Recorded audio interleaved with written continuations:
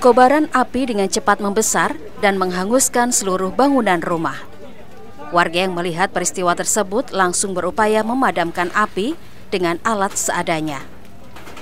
Untuk memadamkan api, tiga unit mobil pemadam kebakaran diterjunkan ke lokasi.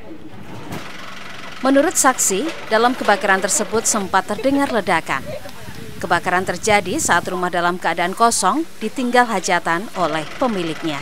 Mulai itu terdengar suara beberapa kali ledakan, terus api membesar dari sebelah barat situ, terus semua warga keluar semua, baru keluar semua, terus ada yang mengeluarkan gabah, ada yang mengeluarkan itu, tapi sudah tidak tertolong lagi karena api sudah terlalu besar.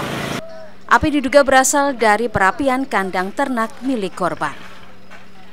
Mega Nanda, Kompas TV, Blora, Jawa Tengah.